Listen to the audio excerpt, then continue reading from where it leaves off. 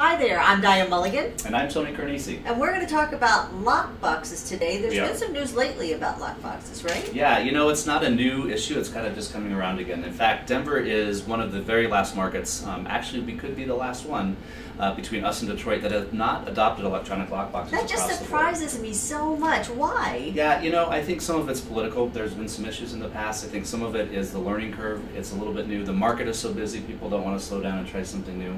But I think it's about time.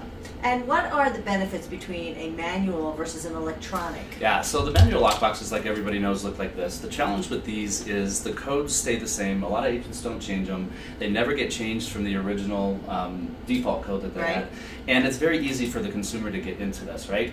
The electronic lock boxes are a little bit different because um, with these, you have to get a code to be able to open this lockbox, right? It gives the homeowner so much more safety, so much more peace of mind. The agent knows exactly when uh, showing started, when it ended, because it tracks that, it sends them the information. If the homeowner doesn't want showings between one and three because the little one's sleeping, this Mhm. lockbox will not open between one and three. Wow. You can give different codes to different vendors, so if the inspector's going in or you're having work done or something like that, you just know who's in the house. And I just think it's a, a stronger, it's a stronger value proposition for the agent to protect their client. So why aren't more agents adopting these electronic lock boxes? Some of it's cost. Um, they are a little bit more costly, and then there's a, a subscription every year. But you know, here's the way I'm going to look at it. I think it's an investment in your client, and I think it's an investment in your business.